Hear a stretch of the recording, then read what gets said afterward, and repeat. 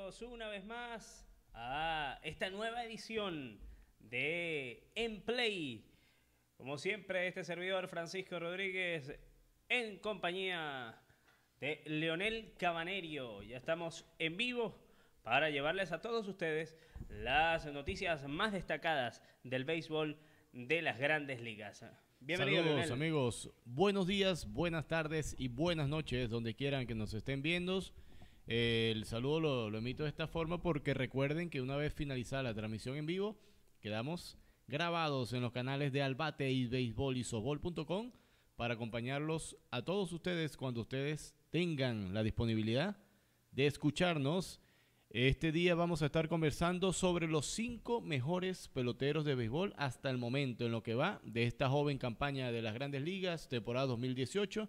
Vamos a tener, vamos a tener tres bateadores, del factor ofensivo y vamos a, resaltar dos lanzadores, tanto un abridor como un relevista. Y tenemos por allí el caso de Bartolo Colón, que lo mencionamos en las emisiones anteriores. El domingo hizo un excelentísimo trabajo. Y aparte de eso, ¿qué más tenemos, Francisco? Bueno, tenemos también en destacar lo de Aaron Judge y hacer una similitud eh, con Mark Maguire. Se hablaba con, eh, sobre esta, justamente esta comparación de Aaron Judge, eh, este novato, bueno, que ya no es tan novato, estrella, esta estrella de los Yankees. Eh, se habla de esa comparación con Mark McGuire y acá vamos a destacar número a número todas esas comparaciones y vaya que se van a asombrar con lo que tenemos para ustedes. Así es, y terminaremos el programa de esta mañana con el ponchómetro, la sección donde vamos a estar marcando los jugadores que más se ponchen en los periodos de tiempo y sin más preámbulos, comenzamos. ¿Qué tenemos por allí, Francisco? Sí, vamos a comenzar de una vez, porque después se nos va el tiempo. y, y, es difícil después estarnos cortando. Así Hablamos justamente de los numeritos de uno de los mejores en esta temporada, que ayer incluso botó la bola con un bate roto. Se le partió el bate y la pelota incluso salió del City Field. Mira, primera vez que yo veo en mi vida no es que tenga tantos años, pero sí tengo bastantes juegos vistos tanto en grandes ligas como en otras ligas. Y es primera vez que yo veo un bateador con bate de madera, bate partido, sacarla del parque, pero es que la sacó como si nada, como si primero, como si no hiciera esfuerzo, y segundo con un swing recortado, porque yo me imagino que sintió el impacto de la madera al romperse, y sin embargo el contacto fue tan bueno que la bola pasó cómodamente por encima de la barda del right field. Sí, y después él hacía alusión a la fuerza.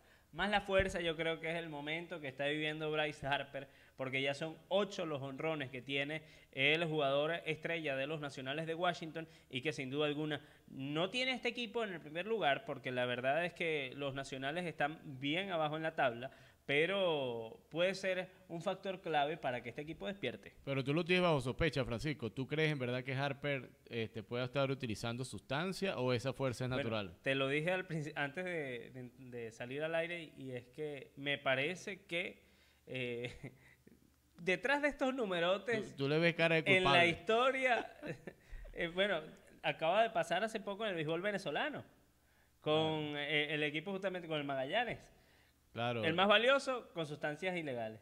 El cerrador del año con sustancias ilegales. Entonces ahí es donde tú ves, dices, bueno, esas actuaciones eh, tan destacadas puede traer detrás algo. Claro, de un día para otro, así nada más.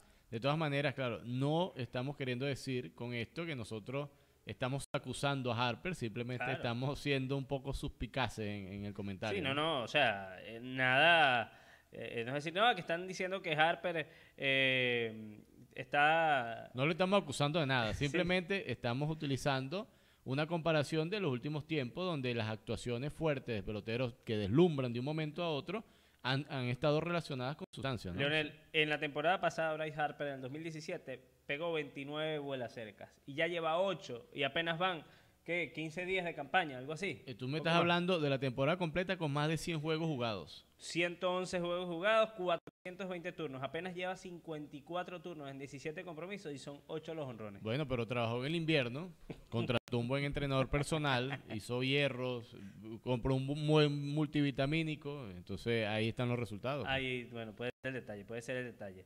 Eh, lo cierto es que Bryce Harper tiene un promedio en estos momentos de 280 en los últimos 7 compromisos, 315 de promedio para Bryce Harper en esta temporada con 8 cuadrangulares y por eso es el jugador número uno en este top 5 que les presentamos a ustedes. Son 17 las carreras empujadas que tiene. En eh, este caso son 21 bases por bolas también recibidas. Eso cuenta también. Claro, por supuesto. Mientras se esté envasando y esté en circulación, va a ayudar a su equipo y eso es uno de, los factores fundamentales de, cualquier ofensiva.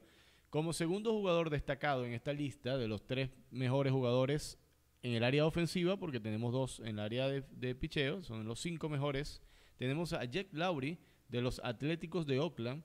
Lowry eh, lo estamos destacando en esta lista por la cantidad de, no tanto de cuadrangulares, ¿ok? Porque solamente lleva cuatro, es igual importante número, sino por la cantidad de carreras producidas. Lleva 17 carreras producidas para Oakland en lo que va de, campaña, aparte ha anotado 8, entonces de las, ha, estado involucrado en 25 carreras dentro de su equipo, ha despachado 24 hits en, lo que va el, de líder, campaña. Eh, el líder en las grandes ligas junto a José Pirela, que es uno de los que vamos a destacar también, eh, es eh, Jet Lowry justamente. Entonces, eh, eso es lo que lo coloca también en ese top. Mira, estamos diciendo que conecta al menos dos hits por, por encuentro, en promedio. Quiere decir que es un buen ritmo. Es difícil de sostener, lógicamente, pero eh, estamos denotando que es un buen bateador. 24 hits en lo poco va de campaña, con 17 impulsadas, eh, merece que esté entre los primeros cinco jugadores de, la campaña y batea para 3-4-3 que está cómodamente montado en el potro de los 300. Sí, y eh, claro, eso, es la, ventaja que le permite haber conectado ya 24 inatrapables. Eh, obviamente eso eleva mucho el promedio, pero lo difícil justamente de este tipo de bateadores es mantenerse así, mantener ese nivel alto eh, durante toda la campaña. sin embargo, bueno, los Atléticos de Oakland están luchando en su división y lo acompaña justamente entonces Jet Lowry.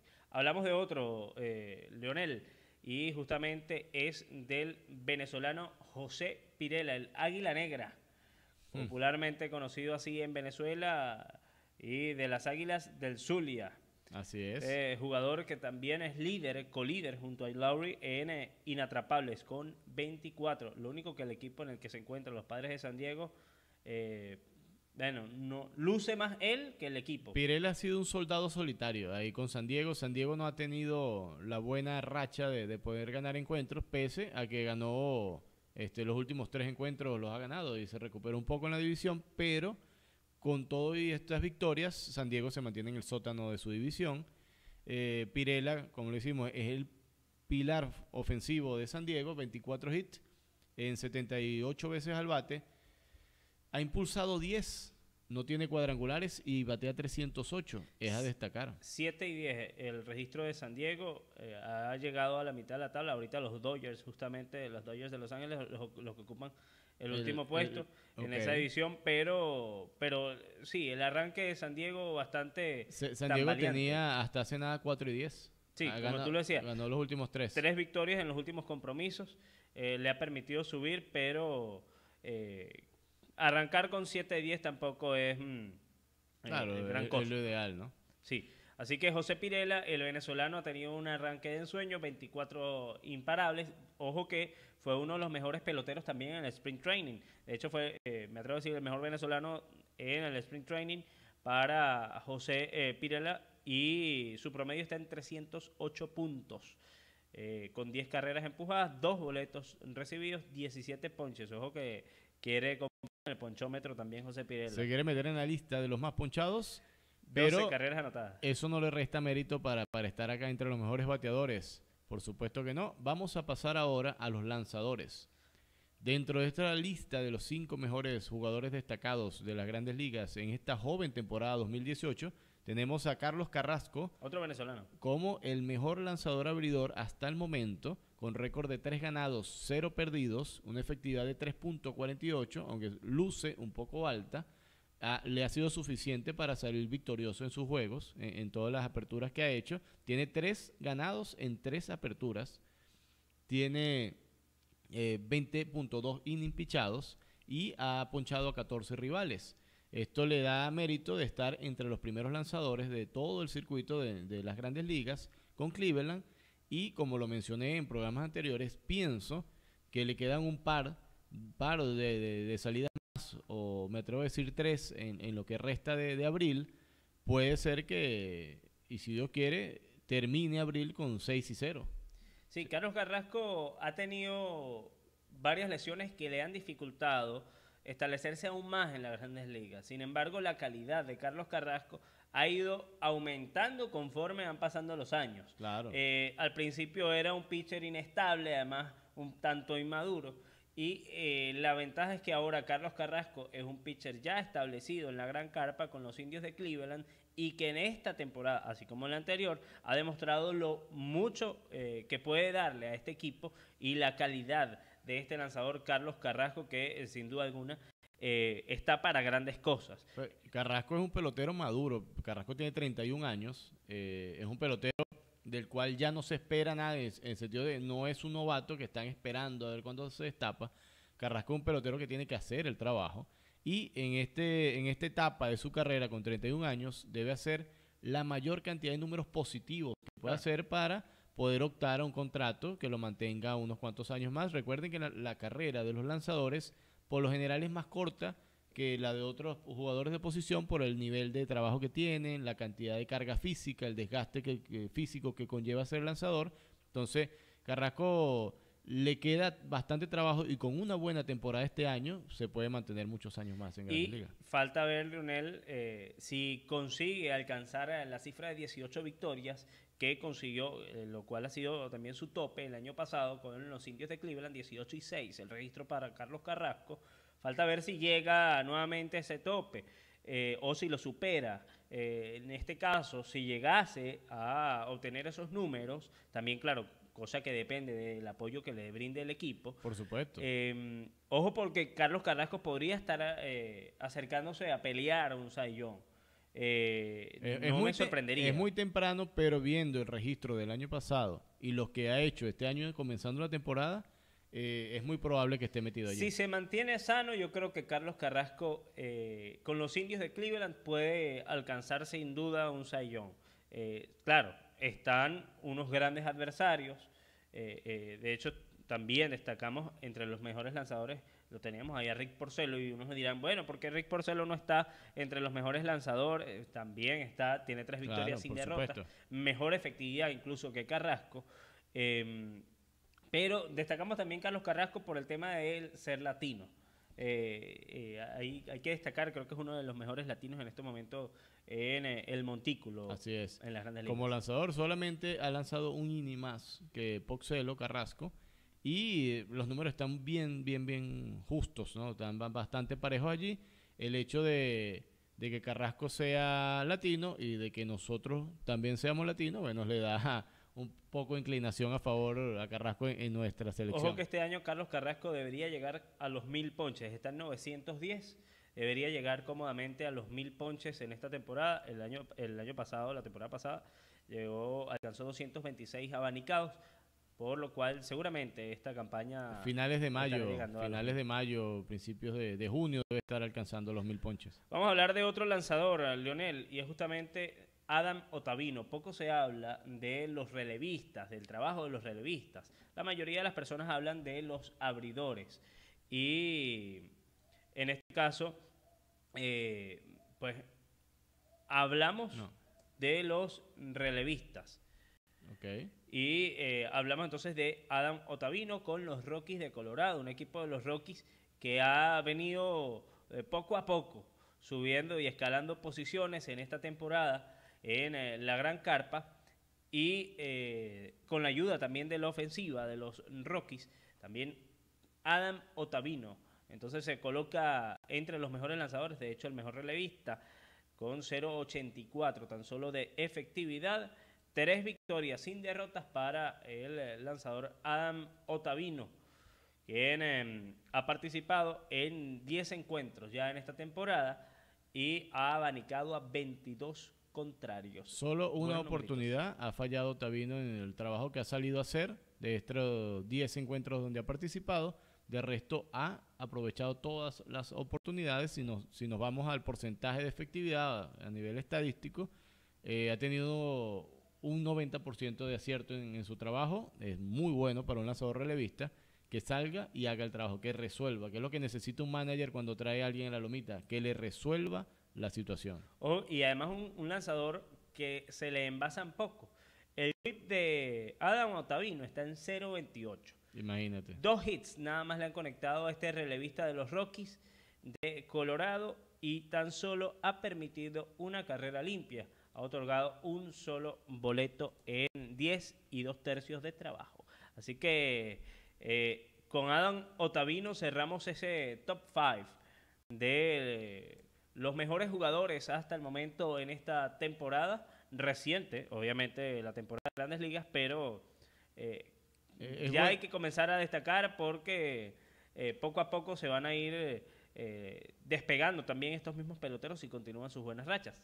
Así es, y serán, vendrán surgiendo nuevos peloteros semana a semana, porque la dinámica del béisbol es la constancia y algo difícil de hacer en el béisbol es mantenerse constante.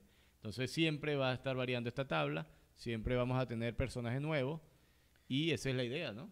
Claro, eh, antes también te había comentado, Lionel, destacar a, Max Scherzer eh, porque unos podrán decir, bueno, ¿y Max Scherzer dónde lo deja? ¿O a Luis Soberino dónde lo deja? Bueno, Max Scherzer ya es el líder en abanicados, en cuatro aperturas ha abanicado 38 contrarios, por lo cual también es una brillante actuación, tan solo una efectividad de 1.33, tres victorias y una derrota para Max Scherzer, el lanzador de los Nacionales de Washington. Vamos a hablar de otro tema. Vamos a hablar del novato sensación, el novato que ya no es tan novato, Aaron Judge, pero sin antes eh, recordarles a todos ustedes que se suscriban a nuestro canal en YouTube Albate y beisbolisofbol.com. Sí, al terminar esta emisión siempre vamos a estar en beisbolisofbol.com. Recuerde suscribirse y darle a la campanita para que le lleguen las suscripciones, le lleguen las notificaciones a todos los que están suscritos cada vez que tengamos una emisión nueva. Sí, acá abajo, donde ustedes, vamos a ver, aquí, aquí, aquí. En ese lado. Ajá. Aquí abajo, eso, ahí, hay un botón de suscribirse. Aquí, tienen el botón. No, bueno, está. el botón, no, aquí está el nombre de Albate. Y aquí está el nombre de béisbolisocol.com. Que es acá, Francisco. Sí, por ahí. No hay problema, usted tiene tiempo y paciencia. Busque el, link de suscribirse y la campanita y estaremos para usted cada vez que estemos una emisión nueva. La campanita es importante darle, Leonel, para que cada vez que estemos al aire les envíe la notificación. O cada vez que colguemos un video. Así, que bueno, seguimos entonces, Leonel, para destacar a, Aaron Judge. De él no tenemos imágenes, hemos puesto muchas imágenes, ya todo el mundo conoce a Aaron Judge. Y lo que tenemos que destacar más que las imágenes son los numeritos que ha dejado Aaron Judge, el jugador más, más, el que más rápido ha llegado a los 60 honrones. A 60 cuadrangulares se dice sencillo, pero conectar 60 cuadrangulares en grandes ligas no es cualquier cosa. Y tomando en cuenta que Josh lo ha hecho en menos de 200 juegos. 197 juegos. ¿Qué implica esto? Que quien los hizo anteriormente en la menor cantidad es un señor que se llama Mark Maguire, que ese señor que terminó su carrera por allá en el año 2001, que luchó en esa épica temporadas contra Sammy Sosa por el liderato de cuadrangulares donde nadie pensaba que era posible romper los récords de cuadrangulares y unos años después vino Barry Bonds y acabó con todo eso. Puro puyado, puro puyado. Bueno, este, pero lo hicieron a tiempo, no había la comisión de, dopaje ni nada de esto. Puro puyado ahí. Ahí es cuando yo digo que Bryce Harper tiene estos honrones y bueno. Claro, y se, encienden las alarmas, ¿no? Pero lo cierto es que eso es historia y a la historia hay que recordarla tal como fue. Esa gente luchó por, por, dar esos cuadrangulares. Fueron unas, hazañas, unas campañas, me acuerdo, recuerdo yo de, muchachos bastante particulares. Y George haciendo la comparación con Maguire, ¿ok? Porque nadie tenía que radar a Maguire hasta que George rompe este récord en esta cantidad de juegos. Si lo hubiese hecho dentro de 5, 6, 10, 20 juegos, de repente no pasa nada. Pero como lo hizo, caemos en el punto de hacer comparaciones. Y la cantidad de cuadrangulares, la cantidad de hits de carreras impulsadas, de boletos, de porcentaje de bateo, es muy similar en las tres primeras campañas o en las dos primeras que culminaron entre Maguire y George. Fíjense, vamos a hacer un repaso muy preciso de las dos primeras campañas entre Maguire y George, tomando en cuenta el número 6. Su primera campaña para Mark Maguire fue en el 86 y la primera campaña para George es el 2016. Estamos hablando... 20 años después. 20 años después termina, no, 30 años después. 30, 96, 2006, 30 años después. 30 años después. Y termina justamente en el 6, eh, donde empieza cada campaña. ¿okay? Entonces ya aquí tenemos una, una coincidencia, una coincidencia numérica. Si quiere usted se juega el 6 hoy, por la lotería que usted guste, o el 30. pero... O el 30 o el 306, ahí tiene, ve. Vamos a empezar a dar datos per ley acá. Vamos a empezar a dar datos per ley caballo. Mira, ¿qué pasa?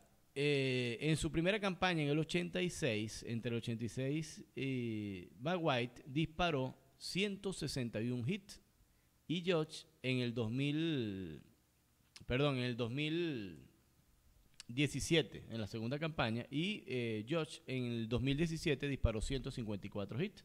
Quiere decir que están similares, pero un punto bastante, vamos al, al, al núcleo del asunto de esta comparación en el, en el 87, Maguire disparó 49 jonrones y fue el primero de la Liga Americana en cuadrangulares. Y en el 2017, George disparó 50 cuadrangulares y fue el primero de la Liga Americana. Entonces, eh, estamos hablando que, que podemos hacer comparaciones, inclusive nos podemos atrever a hacer proyecciones eh, en estos números de cuánto podría producir George tomando en cuenta que son peloteros diferentes, son épocas diferentes, estamos hablando de tres décadas de, diferencia, pero la, similitud de los números es increíble, ¿no? El, deporte sigue siendo el mismo, pero cambian las épocas. ¿Qué crees tú, Francisco? De hecho, el mismo, eh, o sea, lo que analizamos hace unos instantes, el mismo promedio, o prácticamente el mismo promedio, solo 10 puntos por encima de Maguire, sobre George eh, en 189 versus 179 en la primera temporada, 289 versus 284 en la segunda temporada. 114 y 118 carreras impulsadas, cuatro carreras de diferencia, dobles. En la segunda temporada, claro. En la segunda temporada, dobles, hay solamente una de diferencia. George disparó 24 dobles y Maguire disparó 28 dobles. Maguire disparó en el 2000, disculpa Francisco, en el 87, cuatro triples. Y George el año pasado disparó tres triples. Entonces quiere decir que, que están ahí, es muy justo. Lo, lo que sí se diferencia eh, es en las bases robadas. Tan solo una para Maguire versus nueve de Aaron George. Pero los números que importan en el caso de la ofensiva eh, son similares. Entonces no solamente eh, sobrepasa o supera Aaron George a Mark Maguire en el número de juegos porque recuerden, Maguire conectó 60 vuelas cercas en 202 juegos, mientras que Aaron Judge lo logró en 197 encuentros. No solamente pasa en eso, sino también entonces se compara con eh, eh, la, historia que hizo. ahí no estaba apoyado todavía, pero... Claro, era un jugador novato, estaba natural. Pero, eh, va al mismo ritmo que Mark Maguire. En ese tiempo, Ojo que Mark McGuire, perdón, el Leonel conectó 32 honrones en la tercera temporada. Tuvo un bajón de eh, unos cuantos vuelas cerca. Son 17 honrones menos que la segunda temporada de él. Eh, difícil que Aaron Judge no sobrepase los 32 honrones en esta temporada. Claro, se ve complicado. Un, tema que yo veo allí, que, es algo que es un poco más técnico, Josh es un pelotero de dos metros de altura, que pesa más de 100 kilos. Eh, debemos recordar que los peloteros de esta envergadura, de este tamaño, por lo general siempre, esperemos que George sea la excepción, presentan problemas de espalda, problemas físicos porque eh, los peloteros con mayor peso y con mayor tamaño, estadísticamente está comprobado que son menos longevos. los peloteros más pequeños se mantienen más en actividad, sufren menos lesiones, hay toda una cantidad de características físicas. Lógicamente ahora hay más tecnología, hay, mucho más disciplina, médicos, todo esto, pero eh, eso es algo importante destacar allí también que se puede tener en cuenta porque es algo que ha sido así durante la historia, no inclusive del béisbol, del deporte en tal. En cualquier deporte siempre las características más menudas tienden a ser más longevas en el deporte. Hablamos también, Leonel, de, eh, para pasar ya de Aaron Judge a otro tema, antes de entrar en la tabla de posiciones y nuestro ponchómetro, de uno que eh, por poco sigue haciendo historia y del que hablamos también en el programa pasado. Yo creo que hay que decir aquí que nos vamos a ganar la lotería para... Para ver si la pegamos. Porque cada vez que nombramos un pelotero le va bien esa, esa temporada. Bartolo Colón, eh, decíamos, está muy cerca de igualar en el récord de todos los tiempos a Denis Martínez como el latino con más victorias en las grandes ligas.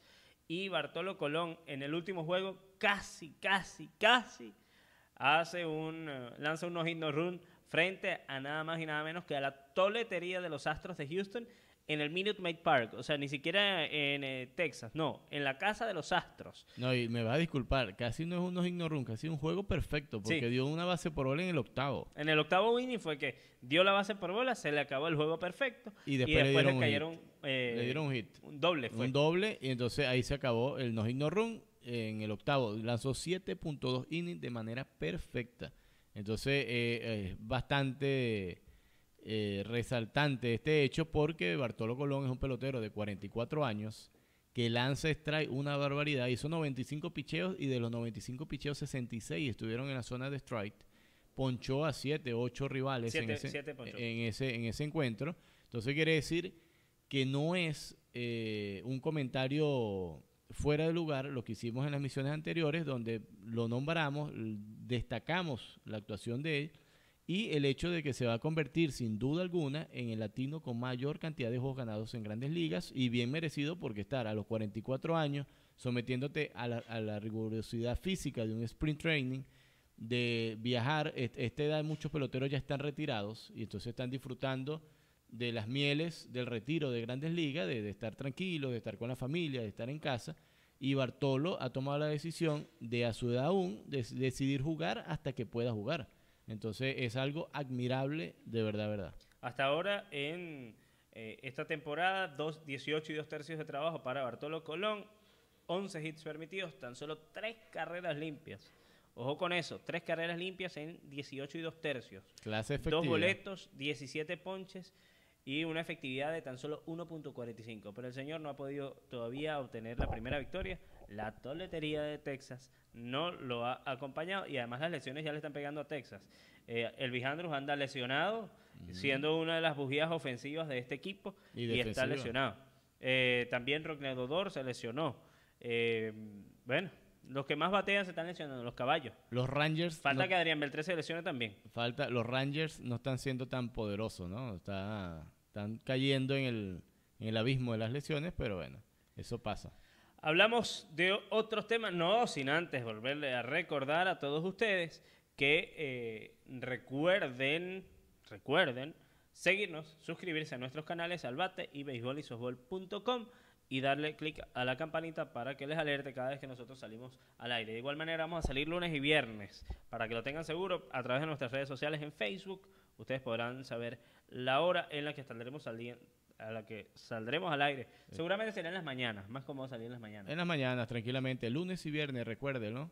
En play para todos ustedes, en Albate y mientras están en la oficina, Leonel, mientras están en la oficina, pueden colgar el, el programa, colocar el programa en su computador, se ponen unos audífonos mientras trabajan y van escuchando todas las noticias del béisbol de las grandes ligas y estos numeritos, porque eh, más allá de darles eh, lo que dan siempre los programas de televisión, que son eh, las jugadas y, que también les estaremos dando, ojo.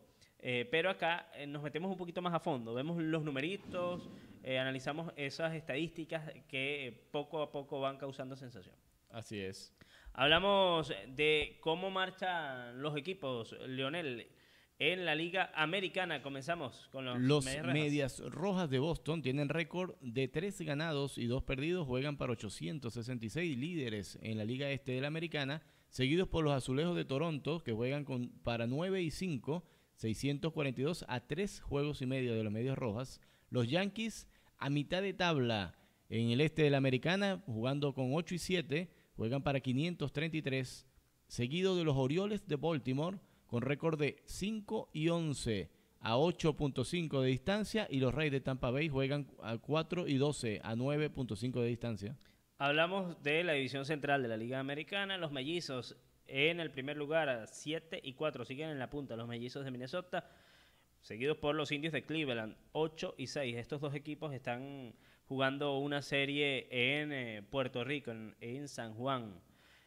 Los Tigres de Detroit 4 y 9, igual que los Medias Blancas de Chicago, a cuatro juegos del primer lugar. Y los Reales de Kansas City sin Salvador Pérez con 3 y 10. Ya Salvador Pérez está recuperándose, ya está jugando en AA y dentro de muy poco estará nuevamente con el equipo de los Reales. Los fantásticos angelinos de Anaheim lucen de primero en la tabla oeste de la americana con 13 y 3. Siete victorias consecutivas para Anaheim. Así es.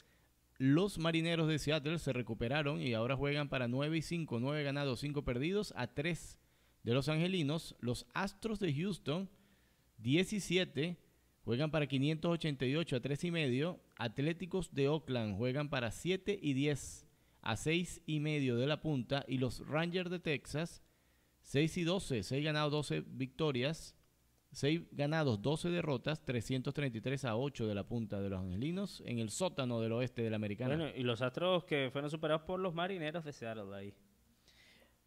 Pasamos a la Liga Nacional. En la división este, los Mets de Nueva York ayer cayeron y cortaron su seguida de triunfos, eh, pero igual continúan en el primer lugar con 12 victorias y 3 derrotas, seguidos por los Phillies y Bravos, que tienen récord de 9 victorias, 6 reveses.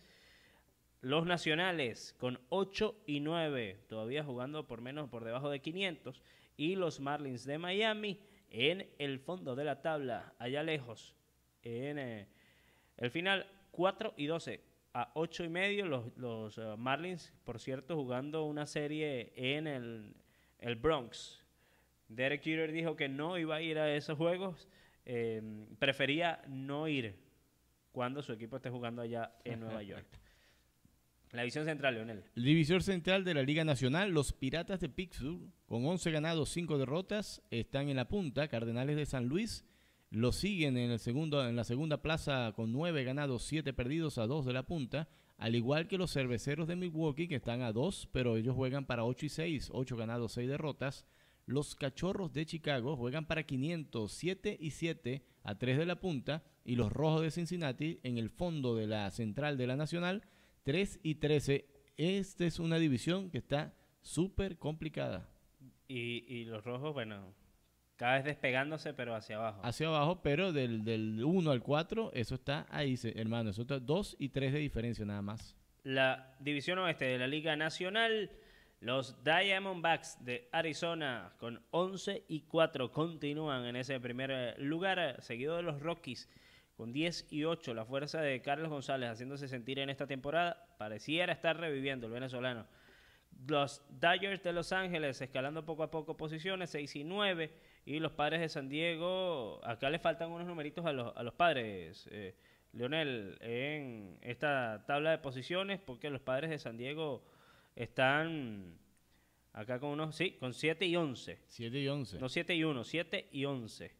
7 y 11. Ah, Le faltó el 1. Faltó un 1 ahí a la derecha. Un detalle nada más. nada más. 7 y 1. 7 y 11. en los Padres de San Diego. En esta temporada. Eh, en efecto, hay un desfase importante. Si están en. te había corregido yo, pero no, sí. Los, los padres en el último puesto de esta tabla de posiciones con 7 victorias y 11 derrotas. Así que así está en este momento las grandes ligas.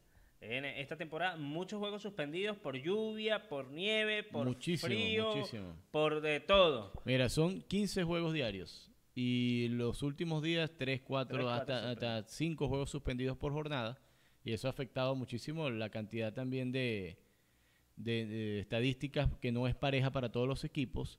¿Qué pasa con esto? Que ahora el comisionado tiene que empezar a reorganizar y pienso yo que por la cantidad de, juegos suspendidos puede haber jornadas dobles o de repente juegos van a empezar a buscar los huecos ahí en el calendario. Así es. Hablamos, Leonel, de nuestro nuestra sección, el ponchómetro.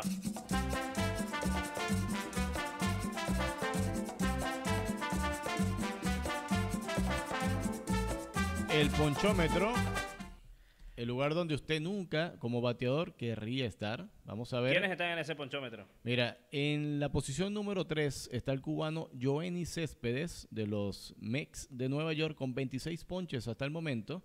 Eh, Giancarlo no se quiere despegar de ahí. No, Giancarlo se ha mantenido en el ponchómetro, pero parejo. Pero Joenny es primera vez que aparece en esta sección con 26 y tenemos un empate en la primera posición a Giancarlo Stanton de los Yankees de Nueva York y apareció de la nada Mac Olson, que no lo teníamos en el radar hasta la edición pasada, y, apareció con 27. Quiere decir que este fin de semana a Olson le rindieron los ponches en contra y ahora está de primero en la lista del ponchómetro. Estos son los tres bateadores que más se han ponchado hasta el momento en la campaña. Y el ponchómetro es el, ¿cómo? el lugar donde... ¿cómo? El lugar donde usted como bateador nunca querría estar. Ese es el ponchómetro. Así es.